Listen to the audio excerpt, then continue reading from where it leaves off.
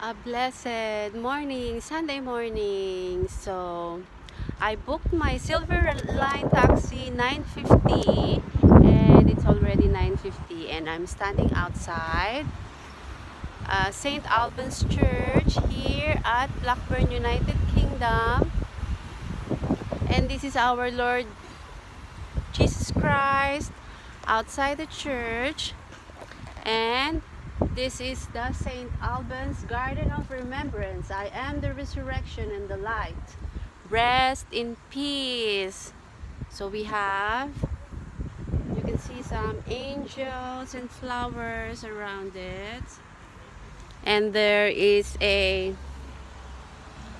in loving memory, never more than a thought away, loved and remembered every day. So there are some messages. So anyway, I'm in the presence of our Lord Jesus Christ. So I'm going to sing whilst I'm waiting for the taxi to arrive.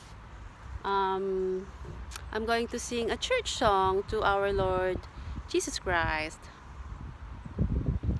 Si Kristo ay namatay Si Kristo ay nabuhay, si Kristo ay babalik sa wakas ng panahon. Si Kristo ay namatay, si Kristo ay nabuhay, si Kristo ay ay babalik sa wakas ng panahon.